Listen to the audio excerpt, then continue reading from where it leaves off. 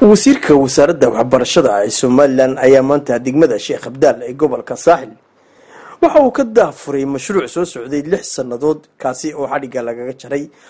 Mashruucan ayaa ilaa siddeetan iskuul oo laga kala dhisay degmooyinka iyo gobollada iyo gobollada somalilan waxaa lagu sameeyey dayactiro iyo weliba qaar laga dhisay iskuulle cusub.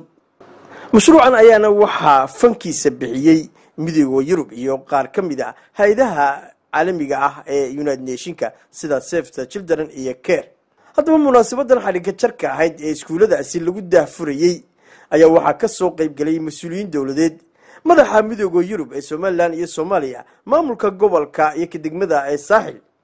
Waxaana ugu horeyn halkaasi ka hadlay agaasimaha guud ee wasaaradda waxbarashada ee somalilan axmed abakor iyo weliba mas'uuliyiinta gobolka saaxil waxaa halkan lagu daahfurayaa maanta oo lagu wareejinayaa in ka badan siddeetan iskuul oo mashruuca horumarinta cilmiga tri wax ka qabtay. Lixdan iskuul waa fasallo lagu daray iskuullo horoo jiray toban iskuullo cusub baa jira. Waxaa iyaguna jira dayactiro mashruucaasoo ka hirgalay dhammaan gobollada somalilan waxaan jeclay inaan u mahadnaqo midooda yurub. Oo runtii ah deeqbixiyaha ugu ballaadhan ee somalilan ka caawiya markaa dhanka waxbarashada. Waxyaala fara badan midooda yurub naga caawiya gaar ahaan waxbarashada maadaama xaflad waxbarasho joogno. Dhowr iyo labaatankii sane u dambeeyey somalilan markaa si toosa ayuu waxbarashada uga caawinayay midooda yurub. Marka aad iyo aad baan runtii ugu mahadnaqaynaa.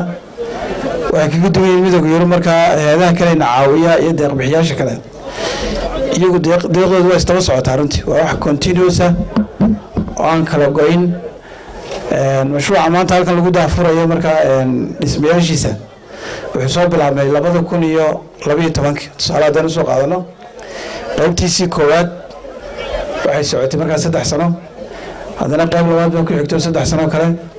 Qaybtii saddexaad baynu sanadkan bishii saddexaad la daafuray iyadoo lagu daafurayo barnaamijkan ballaaran ee horumarinta cilmiga qaybtiisii saddexaad aad baan runtii ugu faraxsannahay waxaynu doonaynaa inaynu helno bulsho aqoon iyo cilmi leh bulshada aqoonta iyo cilmiganana waxay ka timaadaa ubadkeenna aan dhalnay iyo ubaxeenna soo koraya haddii aqoon la baro wax kastoo la siiyo waxa ka qiimo badan in wax la baro. Qofka haddii wax la baro markuu ugu dhinto nolosha naftiisu ku filnaadaa marka waxaa leeya waalidiinta sida adigaba lagugu soo dadaalay ee waalidkaa uu kugu horo naftiisa ugu hor naftaada ubadkaaga. Waxaan nasiib wanaaga oo hambalyahan siinayaa maayar cabdishakuur oo miisaaniyaddana ku daray sheegay dugsiga oo saddexe dayrkiisa inuu ballan qaaday. Waxaan filayaa ka labaadna wasaaraddu inaana cid kaleba u diraynin. Maadaama wasiirkii fadhiyo. Insha allaahu taana waa sidaa waxbarashada. Waxbarashada iskuullada la dhisayo. Maalin dhaweyba waxaan isweydiiyey waar horta qulooyinkan dabaylahan iyo roobabka maxay guryahan danta guud unu dumayaan unu dumin lahay kuwo kalama dumiyaan markaa ba dhismayaasha aynu danta guud u dhisayno kuwaalatigooda ha la hagaajiyo. Intaasi kadibna madaxda hay'adaha kala duwan ee caalamiga ah ayaa iyaguna si diiran u soo dhoweeyey mashruucan waxbarasho. Really to represent the European Union this morning and stay with you during the opening of the Mandela School. mudane wasiir mudane fadhisaadka gobolka maayarka labada agaasimeeye wasaaradda waxbarashada isku duwan waxbarashada ee gobolka madax dhaqameedka gudoomiyaha degmada madaxda ka socota hay'adaha care. Iyo save the children aad iyo aad baan ugu faraxsanahay in maanta aan yurub oo aan halkan joogo We have already heard a lot of speeches this morning, so it, it makes no sense for me to repeat what has already been said.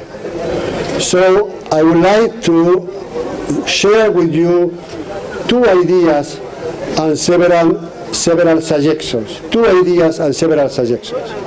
ugu dambayntiina wasiirka wasaaradda waxbarashada ee somalilan halka ugu dambaysa huubada yaa looga tagaa wasiirka iyo iyo kolba qofkii meesha markaasi la qadarinayo waxaa looga tagaa huubaha hadalka wuu dhammaa first of all i would like to thank uh, the european union represented by ambassador nicholas uh, i thank them for their support unending support for the development of Somaliland education. I hope the words that have been spoken by the ambassador here uh, would be heard and would be um, used as a catalyst of what we are doing in here.